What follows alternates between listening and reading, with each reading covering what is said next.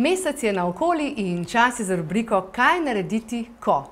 Danes bova z Anito Obradovič govorili o tem, kaj narediti, ko se pojavijo prvi znaki prehlada. Sej vemo, pride hladno vreme, se oblačimo po principu čebulice, ampak okrog nas kup virusov in prehladov. Anita, živijo. Zdravo. Uh, povej mi prosim, kako v bistvu se lahko izognemo torej, tem zoprnim, zoprnim prehladom? Ja, spet na več načinov. Treba je, da se uh, okrepimo navznotraj in navzven. Uh, tako da, naprimer, seveda dodajemo določene vitamine še v večjih količinah. Mhm. Naprimer, če že imamo tako kakšen začetni simptom prehlada, Ja. je super, da takoj ukrepamo, da takoj izločimo sladkor. Ker v Izločiti sladkor, Ja, okej. ker sladkor zelo slabo deluje na naš obrambni sistem.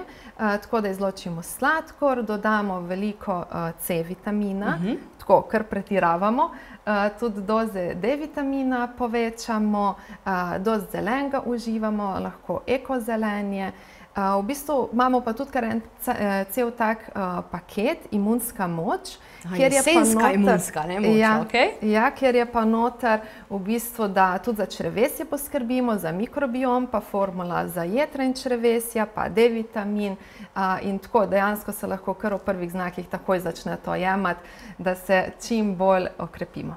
Ok, če greva kar na hrano, kakšna hrana se priporoča torej, v času uh, jeseni, torej, da se ne bomo ne, česa nalezli, oziroma kako lahko v bistvu imunski sistem uh, s pomočjo hrane še izboljšamo? Ja, hrana je definitivno najboljša glede na čas eh, leta, v katerem smo v določenem trenutku. Zdaj, če naprimer smo glih pri a, teh enih začetnih prehladih, pa mogoče pa tukaj je že energija pljuč aktivna.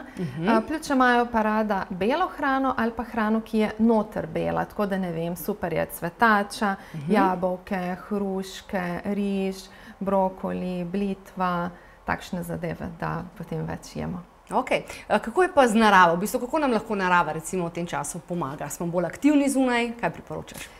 Uh, ja, priporočam v bistvu tako eno zlato sredino. Pomembno je, da smo aktivni, da smo uh -huh. dovolj na svežem zraku, da se tudi predihamo, uh, tudi stanovanja, kjer smo, ali pa delovni prostor, karkoli, seveda, da redno prezračujemo. Uh, se pravi, aktivnost na splošno je pomembna. Ni zdaj, da če se nam zdi, da imamo prvi en simptom prehlada, da se kar zapremo v hišo, uh -huh. ampak je pa pomembno vedeti tudi to, da ne pretiravamo. Uh -huh. Ker se pa vseeno takrat naše telo bori z tem eh, padom imunskega sistema in ni dobro pretiravati. Tako da v bistvu ena zmerna aktivnost. A, pomembno je tudi, da dovolj pijemo, da se dovolj hidriramo. Evo, Najbolj pijeva. voda. Voda. Uh, najbolj voda, lahko tudi kakšen čaj, ampak se vemo, voda je osnova. Uh -huh. um, in pa spanje. Pomembno je pač, da res kvalitetno spimo, da gremo dovolj zgodaj v posteljo in pa tudi, da spimo v popolni temi, ker se veš, sem takrat se lahko zares zgodi prava regeneracija. Torej, zgodaj spat, pa seveda marsikdo tudi a, priporoča, da se torej odstranimo z vseh elektronskih naprav že kar lep čas prej, ne? da Ja. torej, umirimo ne samo telo, ampak tudi predvsem možgane. Ne? Um, res, ja. Zdaj, viš, kaj me še zanima, um, kako je pa, eh, moram tvoje čakre omeniti, ne? pa tapkanje, ker verjetno pa tudi za prehlade, ki deluje, da si lahko pomagamo. Ja, definitivno. Jaz bi tukaj predlagala, uh, da okrepimo prvo čakro, zato ker prva čakra je naše fizično telo. Uh -huh. In s tem, ko je ona močna. In ko pač imamo dovolj energije v svoji prvi čakri, takrat smo bolj prizemljeni in takrat v bistvu smo tudi zaščiteni. Zaščiteni smo tako pred strahovi, kot smo zaščiteni tudi, uh, sam naš imunski sistem je zaščiten. Se pravi, tudi vsak prehlad se potem ne nalepi takoj na nas, vsak virus, vsaka bakterija, ampak se tako na nek način kot odbija od nas, ker pač smo mi tako močni v svojem telesu, pa smo bolj stabilni, prizemljeni. Uh, tudi uh, s tem, ko smo bolj prizemljeni, tudi če je prvi znakec prehlada, če že pride do njega, dejansko ga potem tudi nekako lažje sprocesiramo. Um, se pravi, barva uh, prve čakre je rdeča.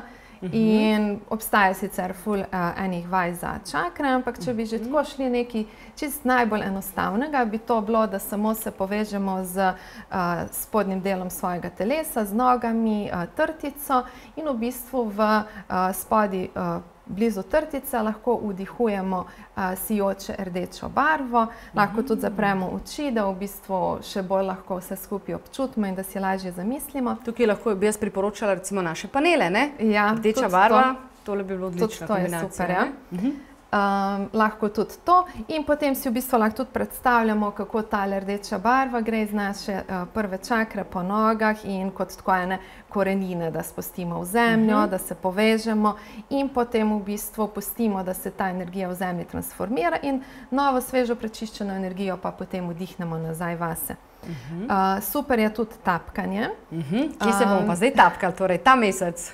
Ta mesec. V bistvu še vedno bi zadržala uh, ledvični meridian, se pravi no, pod ključnico, ker je spet povezan s prvo čakro in ledvica uh -huh. in tako.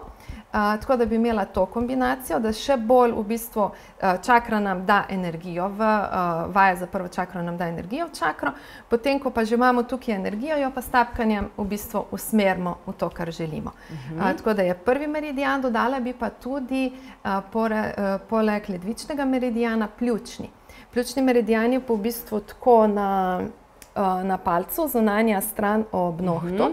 In v bistvu si lahko tudi tukaj tapkamo, ker pljučni meridian pa v bistvu spet nam uh, dviguje našo odpornost.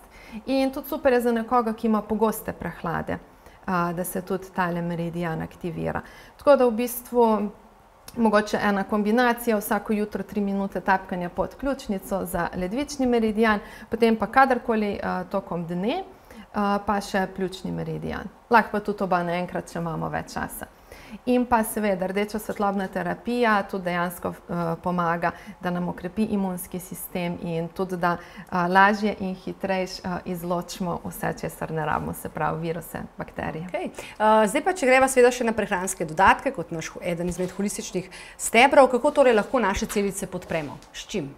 Ja, C-vitamin, D vitamin, ekozelenje. Tudi aptogeni, verjetno? Ne?